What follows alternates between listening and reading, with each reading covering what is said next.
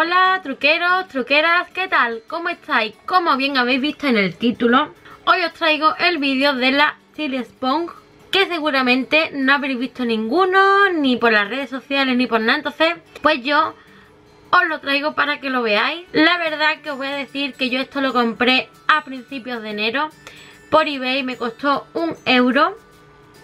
Os dejaré el enlace abajo en la cajita de descripción, pero es como si lo hubiera comprado en AliExpress porque me ha tardado más de un mes y medio, entonces pues las demás compañeras la han ido comprando en, en diferentes sitios o se la han regalado. Yo os tengo que decir que esto no es ninguna colaboración ni nada.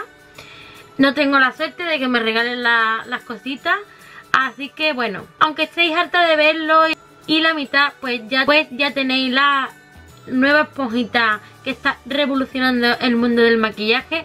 Siempre es bueno pues aportar cositas, información. Ya sabemos que cada una pues damos una opinión y aportamos información. Todos los vídeos se aprende algo. Así que vamos a dar un poquito de información. ¿Qué es la Silly Sponge? Pues es una herramienta del maquillaje que eh, está revolucionando lo que es el tema internet, redes sociales, el mundo del maquillaje. Esto ha sido un boom que estaba por todos sitios agotados eh, la sacaron las grandes youtubers, empezaron a, hacer vídeos pues con diferentes objetos aplicándose a la base de maquillaje hasta llegar a esto. Y como todo en la vida pues las cosas y herramientas del maquillaje van avanzando. Esto lo han hecho como para sustituir pues la Beauty Blender. Ya sabemos que la Beauty Blender es una esponjita pues que al mojarla se expande, es blandita y es porosa. Entonces lo que nos hace es ayudar a difuminar nuestra base, nuestro corrector, nuestro producto en crema para que a la hora de aplicarlo y difuminemos pues se quede lo más natural posible. Esto sin embargo pues no es nada poroso, tiene una textura pues como si fuera un implante de silicona. Yo sinceramente nunca los he visto ni los he tocado. Pero la gente pues lo compara pues con eso. La verdad que esta miniatura pues ha adquirido muchísimos adjetivos como es, como es pechuguita, implante de silicona, puff puff. En cada compañera, en, cada vídeo, pues lo llama de alguna manera. Y como bien les digo, pues el fin de esta Silly Esponja es aplicar cualquier producto en crema. Es un material de silicona y plástico flexible. Como bien vemos, pues si la doblamos pues perfectamente se adapta al movimiento que le queramos dar. Al contrario de la Beauty Blender, pues esto resiste al aceite o a la grasa con el fin de pues no desperdiciar productos. Ya sabemos que por ejemplo la Beauty Blender o estilo Beauty Blender, lo que son esponjas en general, pues eh, absorben demasiado producto. Sin embargo esto no, al no ser poroso, pues es cuestión de deslizar y dar pequeños toquecitos. A la hora de la higiene y desinfección de nuestra Silly Sponge es muy fácil, solamente hay que utilizar agua templadita y jabón y después secarla pues con un papelito y ya la tendríamos lista para los siguientes usos que le tengamos que dar a nuestra esponja de silicona. Sinceramente para mí pues eh, el fallo que tiene es que no difumina muy bien lo que es el maquillaje. Lo que se trata es de arrastrar el maquillaje, entonces para llegar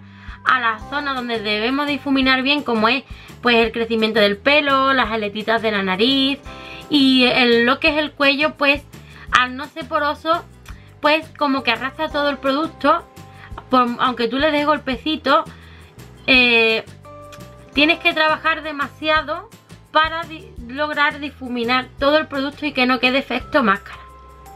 Que es digamos la diferencia que yo le veo con las esponjas, que esto eh, no difumina tanto como las esponjas. Y entonces a la hora de maquillar fuera en la calle, pues eh, lo veo un poco pérdida de tiempo porque eh, aunque, esto lo aunque esto lo extienda muy bien, siempre tendríamos que dar retoquito pues con una beauty blender o una brocha mofeta o algo para difuminar bien los cortes y que no vaya esa persona pues con una máscara puesta, ¿no? También otro fallo es que eh, si no controlas mucho la cantidad de producto que estás echando, pues en un lado te queda como mm, más cantidad que otra y eso a la hora de que lo estás difuminando pues no te das muchas cuentas, no te puedes dar cuenta hasta que realmente te miras y es otro pequeño inconveniente que yo le veo a la gente inexperta pues que puede ir pues con eso, con el efecto máscara, tanto en base como eh, contorno en crema o incluso corrector,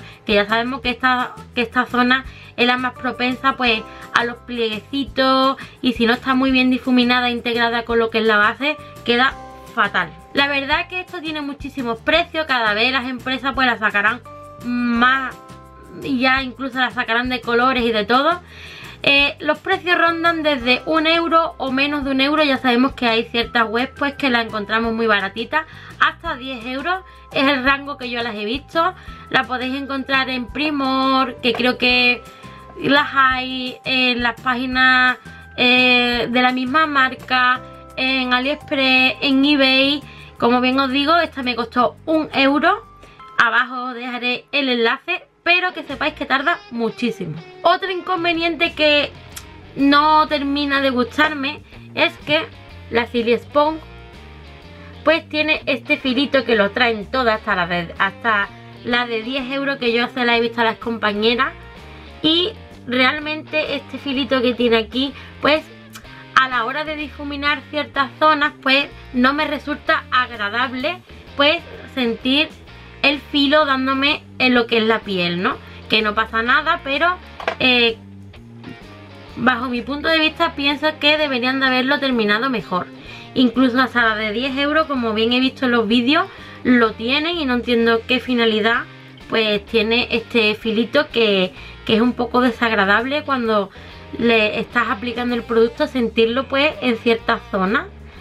Otro inconveniente que yo le veo es que a la hora de eh, integrar bien lo que es el corrector o, cualquier producto, pues aunque tiene ese pequeño puntita no llega bien a la cierta zona como la podrían eh, llegar cualquier, cualquier pincel o incluso la puntita de la Beauty Blender. Pero con todo y con eso eh, es una buena opción para no mancharnos las manos, no gastar tanto producto Vamos a probarla a ver qué tal. Yo os tengo que decir que ya la he probado Ya la he lavado varias veces. Y la verdad que eh, es como todo, ¿no? Habrá gente que la odia, habrá gente que le encante. Es a lo que se acostumbre una. Yo llevo 15 años utilizando esponjas Y no precisamente Beauty Blender Antiguamente estaban pues las esponjas de quesito que se le decía Que era la típica esponja blanca de triángulo y también yo estoy muy acostumbrada a trabajar con, los, con las manos o con brocha entonces eh, esta textura tan nueva pues no llega del todo a convencerme para maquillar digamos lo que son clientas. Para una misma no importa porque si tú te tienes que entretener un poquito más en difuminarte lo que es la base y todo eso pues tú te entretienes. Pero cuando estás con una clienta eh, no puedes estar perdiendo tiempo haciendo doble trabajo bajo mi punto de vista, ojo que a lo mismo yo me acostumbro a utilizar esto y no quiero otra cosa, pero ahora es lo que pienso. Pues nada, yo voy a utilizar la Bondi Way to Face. He visto chicas, he visto compañeras que la han utilizado con bases líquidas, con BB cream y demás. Esto se supone que puedes utilizar cualquier tipo de base. Porque si tenemos que utilizar una base específica con esto, pues entonces apague vámonos. Así que nada, yo voy a echar un poquito de producto aquí. Yo mi opinión es cogerla de poquito en poquito porque si tú coges mucho y lo plantas más tiene que difuminar y arrastrar. Entonces si vas de poquito a poquito puedes controlar mejor pues las capas de maquillaje que tú estás echando. Mira lo que os digo cuando te arrimas, digamos, a la zona del ojo, que yo integro muy bien lo que es eh, la base con de esto, pues el filito hace que el producto me crea ahí un pliegue y tenga que utilizar otra herramienta para arreglar eso. Yo, mi manera de utilizarla es primero cojo poquita cantidad y voy arrastrando para que el producto expandirlo y me dé para bastante zona de la cara y después pues voy a toquecitos integrándolo.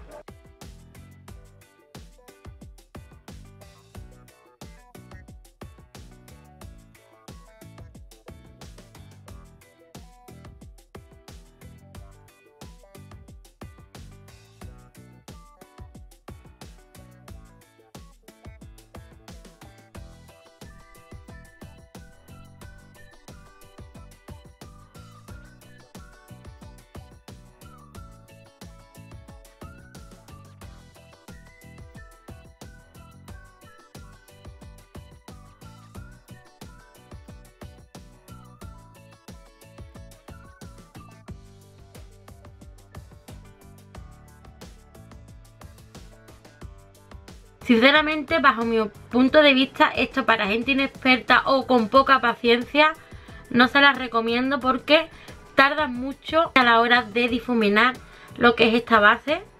Pero claro, esto es como todo. Es que te la compres y la utilices. Puede ser que la odies o puede ser que te encante. Todo es cuestión de práctica y ponerse como todo. Esto por un euro, por probarla y ver la experiencia de esto que se está poniendo tan de moda, sin duda ninguna comprarla. Como bien digo, no llega bien a la zona que yo quiero.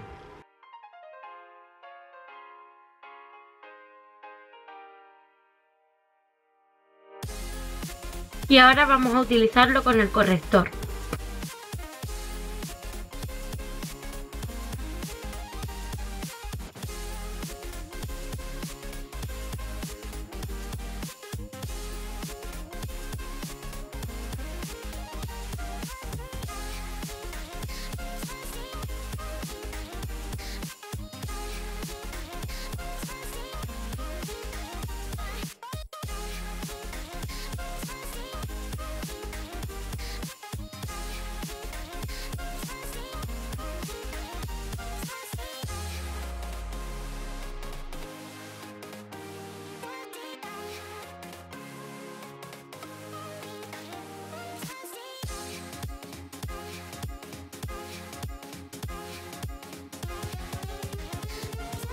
Y como bien veis, le hemos lavado con agüita templadita y jabón de mano.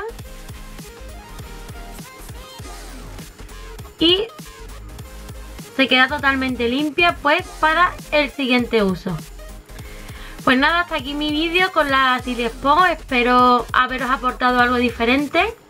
Espero que os haya gustado, que os haya servido de ayuda. Que muchísimas gracias por dedicarme unos minutitos de vuestro tiempo que os mando un besito muy grande para todos y para todas. Y que como siempre os digo, pues nos vemos muy prontito en un siguiente vídeo.